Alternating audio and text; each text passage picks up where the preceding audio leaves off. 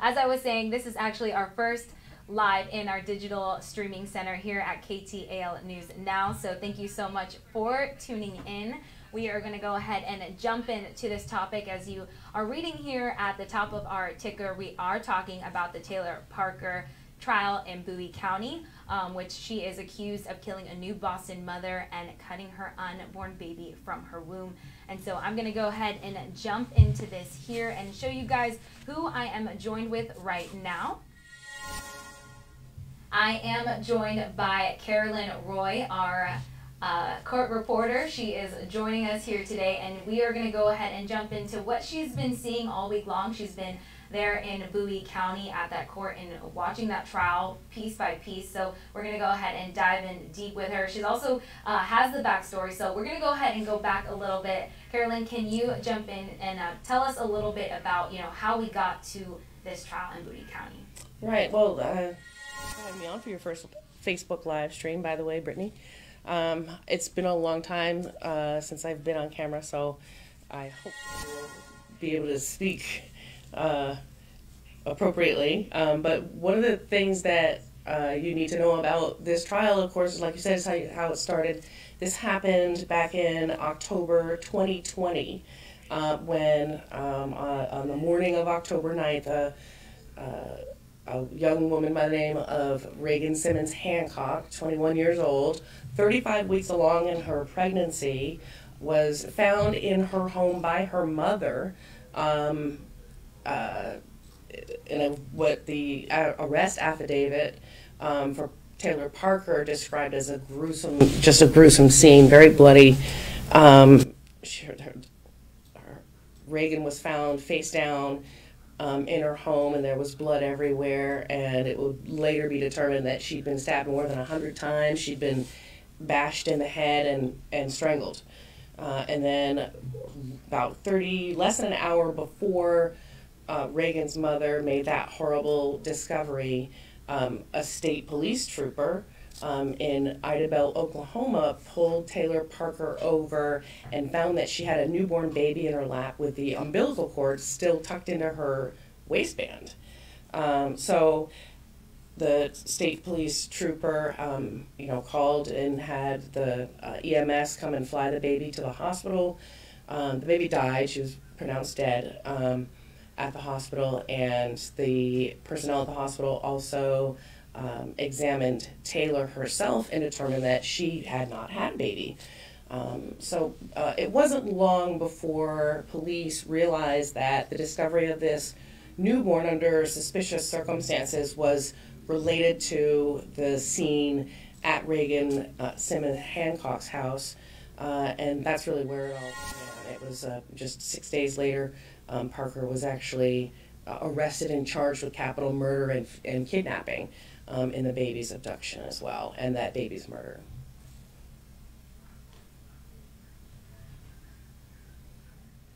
All right, thank you so much, Carolyn, for that breakdown there. Um, and so we're going to continue talking about this, and I actually have some questions for her. So we are going to go ahead and talk more about this. So I think one thing maybe I want to know is um, first day in the courtroom, yeah. what was the atmosphere like, and what were you um, hmm. seeing there? Well, it was a packed courtroom. It's not a huge courtroom. The 202nd District Court in Bowie County with um, uh, is um, a, a, fairly small courtroom, but you, a couple dozen people fit in the gallery, and there were almost no seats um, available. Family members were there, of course, for Reagan Simmons Hancock, um, and um, both close and and it seems extended and friends of the family and uh, of course, uh, members of the media also filled out some of those seats. And it was, um, it, it was kind of striking how how close uh, Reagan's family uh, seems to be, and how they uh, were emotional. Of course, during the opening statements and when the charges were read against um, Taylor, um, there were some, sniffles and, and some, you know, a little bit of uh, tears. Um, you know, this has to be, as you can imagine, very difficult for the family um, with you know going through this trial and having to relive some of those horrible uh, days all over again. And so, uh, but in the course of the trial, the family has also clearly, you know, they're not talking um, necessarily doing interviews during the trial itself, but you can tell that they want to talk about Reagan too. They want to keep her memory alive. As we look more into some of the evidence and details that um, both the prosecutor and defense have provided so far, could you tell us a little bit about maybe from the prosecutor side, what was some of the evidence that they've provided so far? Yeah, there's been a lot of evidence. Um, reams of it, hundreds of thousands of pages of just digital evidence pulled from Taylor's devices, her laptop, her phone. Um, so there's been a lot of that evidence presented already. Uh, really, that's been the focus of the testimony so far. First, just establishing that Taylor wasn't even capable of getting pregnant because she had um, her tubes died uh, after the birth of her second child um, in 2014. And then I think the following year was when she had a partial hysterectomy after she had um, some problems with a cyst on her ovary. And when they went in, they found endometriosis and a tubal pregnancy. So while she was under, the doctor came out and, and talked to her husband at the time. Um, uh, Tommy Wade Casey and said, "What do you want us to do? Because this is, you know, there are options here, but one of them is that uh, his taking out her uterus and uh, what the damaged ovary. Um, and that's when her husband at the time gave the go ahead. So she did not make that decision. She was very upset about it when she woke up. That testimony came out in court this week. Um, and uh, again, all the digital evidence um, that was presented by investigators who did the search warrants and then analyzed it really got into what she was doing on social media when she was posting about uh, this pregnancy that several people, many people really, um, knew couldn't possibly be real, wasn't possible because she had had that hysterectomy. Um, it also is being used to set up a timeline for, so that the jury can understand what Taylor was doing on social media, what she was doing on her devices, um, and even text messages and emails that she was sending out under fake personas. She was using voice over internet protocol apps, basically spoofing apps to be able to text people under made up names, posing as everything from her own mother, um, so that she could create um, the uh, the impression that her mother was threatening and harassing her, um, to posing as um, officials with banks, uh, so that she could um, make it look like she was a millionaire heiress that she told her boyfriend, who she, she was trying to keep. That was the motive that the prosecutors say uh, for the killing and taking of the baby. Um, so she posed as other people, and this digital forensic evidence, uh, allegedly she, she did all this, shows um, the steps she took. It even shows her paying for these monthly subscriptions for these services and things like that. Um, and that's just scratching the surface of the evidence. They were describing 49,000 pages of digital evidence just for her Facebook activity alone, if I recall correctly. Um, that doesn't even include all the text messages and uh, those kinds of things that they also gathered as part of their investigation. And so I do want to say this to uh, the people who are tuned in right now. If you have any questions, feel free to give us, send us a comment, um, and we are looking through that right now, so we can answer those questions for you right now. If you have any questions for Carolyn, um, also if uh, you know just also any technical difficulties, if you guys want to let us know, we want to make those changes so you can get this information. Um, but actually, I wanted to ask you another question. So um, also about, you know, who's testified so far? Who have we heard from um, throughout this week? Can you tell us a little bit about that? Sure. Uh, there have been 17 witnesses so far from um, after opening statements on Monday through Thursday afternoon. And um, just FYI, the trial is only taking place uh, Monday through Thursday for the course of this trial, which is expected to last at least through the end of September. One of the reasons being the judge said he wants to allow the um, both sides to be able to prepare their cases because it is such a complex case um, for the coming week. Um, so four day trial weeks. Um, and so, um, what was the question?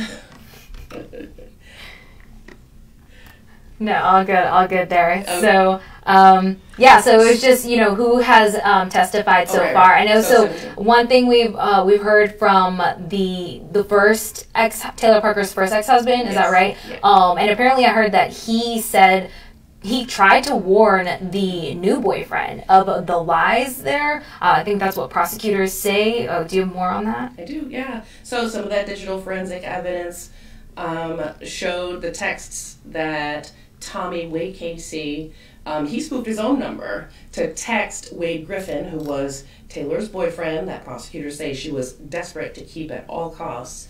Um, but Wade Casey didn't want uh, to wait to know who it was that was giving him the heads up that hey you know this pregnancy that taylor's claiming isn't possible because i was there when she had her hysterectomy and there's no way she she could be pregnant he didn't want her to know it was him tipping her boyfriend off because of the trouble it would cause in his life he was still taking care of um, taylor's daughter at the time um, even though she's not his biological daughter um, that was the only father she'd ever known, and Taylor actually asked him to take care of her. So there were complications that he didn't want to get into. But yeah, he, he texted uh, Wade Griffin anonymously, according to testimony in court and the evidence that was gathered that shows the texts. Wade was able to, um, or Wade Casey, that is, uh, was able to provide those texts to investigators. And one of the interesting things about that text that he sent to uh, Wade anonymously, so under a spoofed number,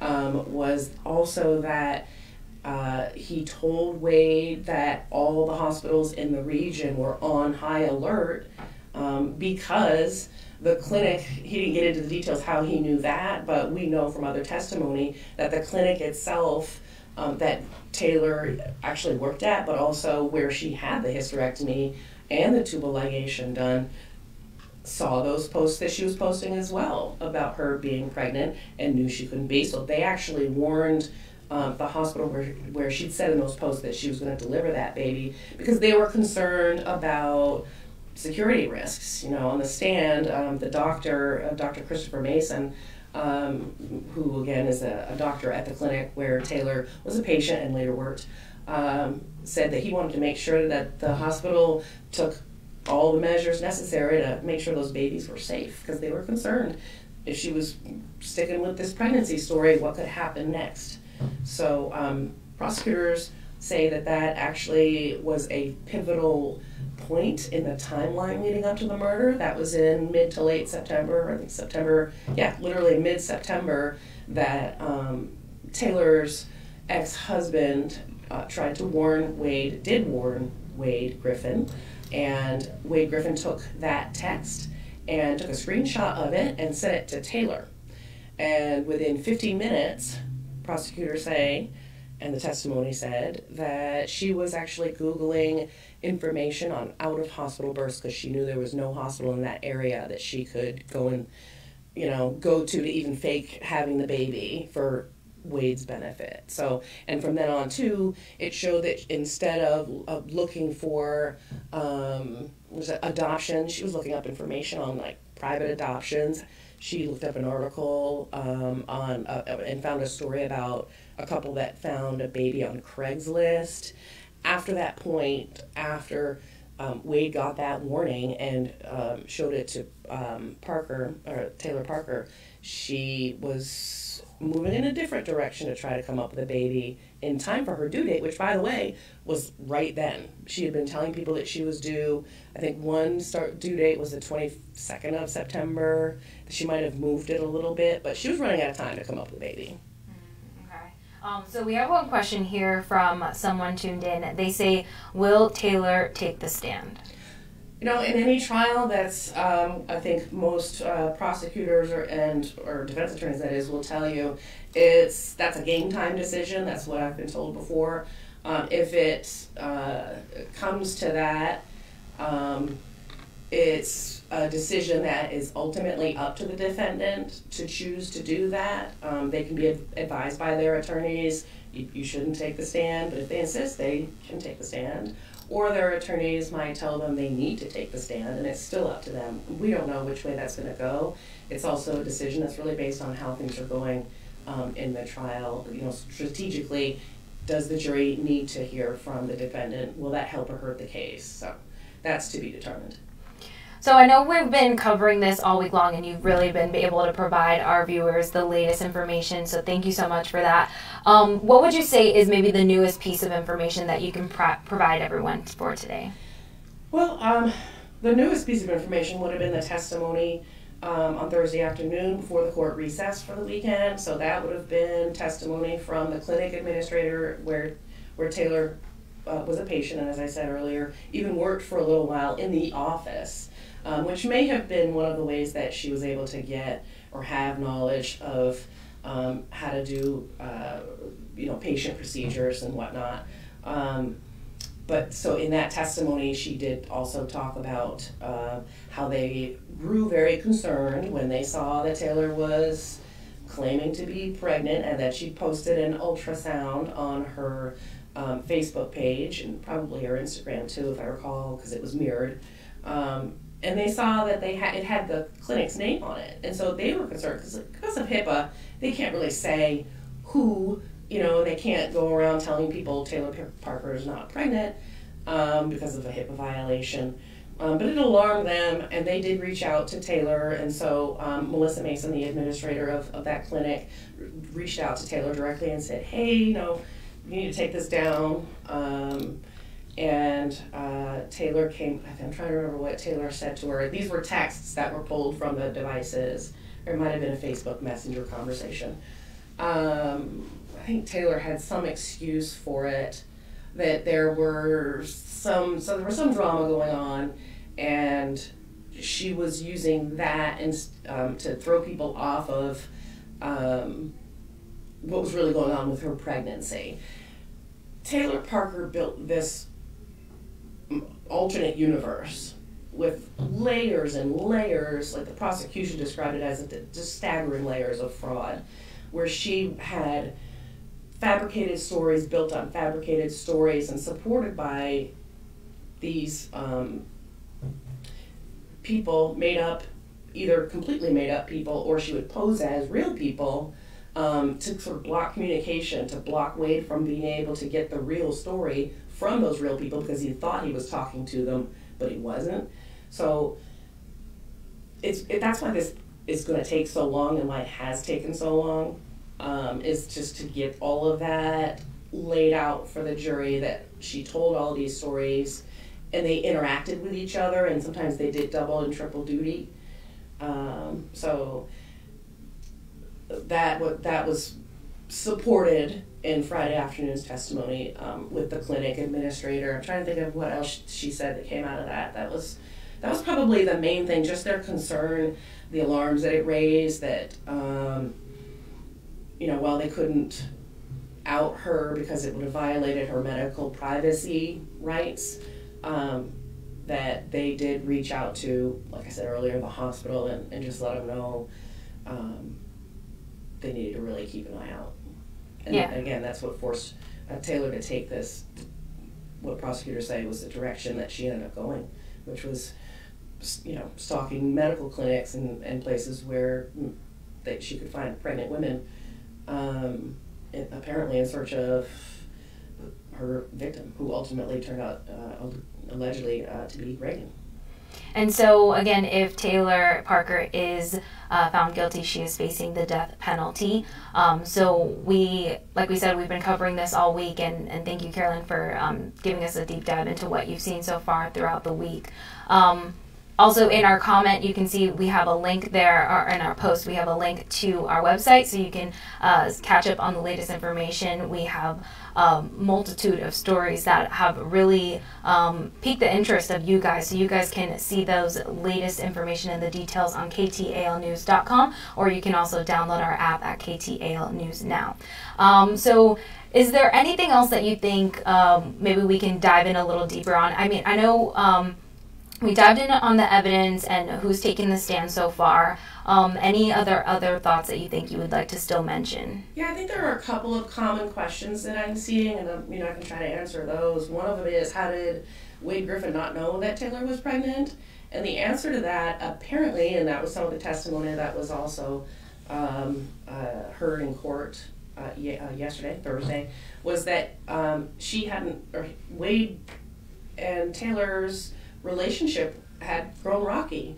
Um, he had been hearing all the whispers that, and he also just knew that something wasn't right.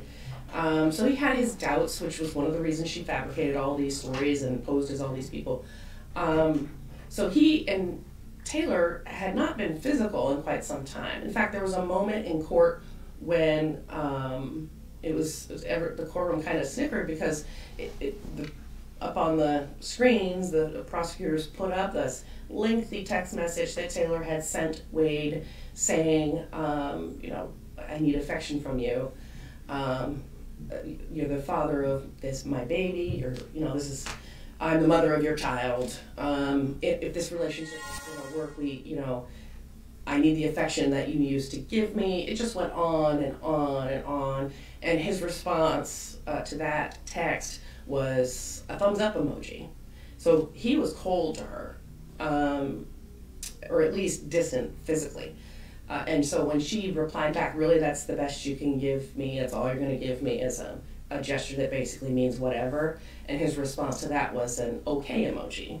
Um, and so in the, in the courtroom, I mean, there's nothing funny about capital murder and, and, and literally cutting a baby from a womb, but there's sort of some moments in the court where you can't help but just uh, laugh at the ridiculousness sometimes of the exchanges or of the stories that Taylor told. I mean, there were some stories like the I can tell you a couple crazy stories about that if you have time for it. But um, you know, some of the just crazy stories that were told on the on the stand. But at any rate, they weren't physical, so there wouldn't have been any snuggling, or who knows if they were even sleeping in the same bed. But she certainly um, hadn't been physically touched by him in some time because she was complaining about it. Uh, and the other thing is, as receipts showed, and online search um, data showed, she had searched for a fake pregnancy belly, a silicone pregnancy belly, and ordered one online, and, and she was wearing that. So, physically, appearance wise,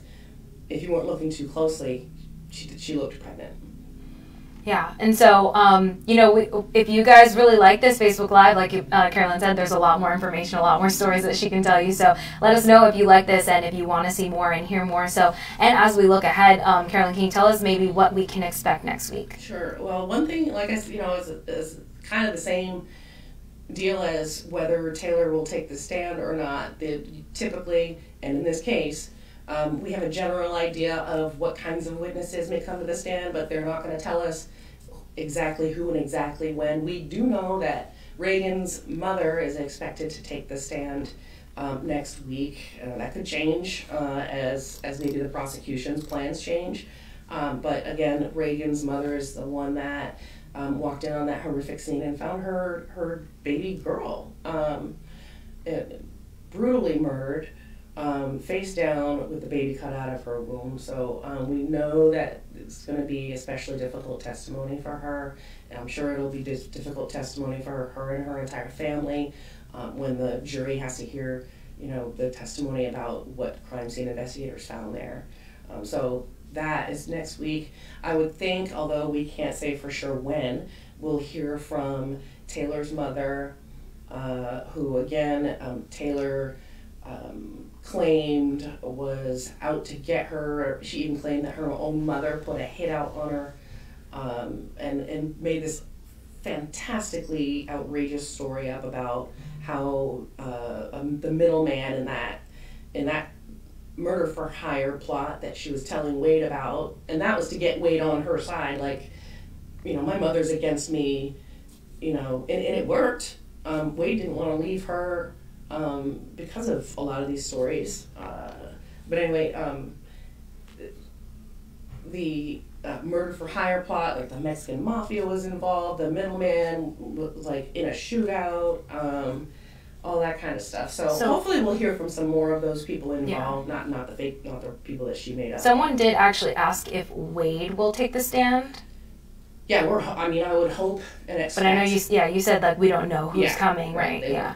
Yeah, they're not releasing that information, but yeah, and he, you know, that's a key. What Wade has to say about his perspective on this is obviously key to this case. Hearing directly from the person that was at the center of, of Taylor's motivation for all of this. I would expect we'll hear from him. We just don't know when. And again, this is going to go on through at least the end of the month. Yeah. Longer than that. Yeah. All right. So, well, as more information comes out, we will definitely uh, jump on here again um, to give you guys more information. But you can also stay up to date on ktalnews.com. Thank you again, Carolyn, for joining me and doing this with me. Um, this was uh, definitely our first one, so it was nice to jump in and uh, give it a try. So, thank you all for uh, being patient as well through the technical difficulties um, in the beginning. So, uh, for now, we're going to sign off. I hope you guys have a good weekend. Um, and yeah, we'll see you next time.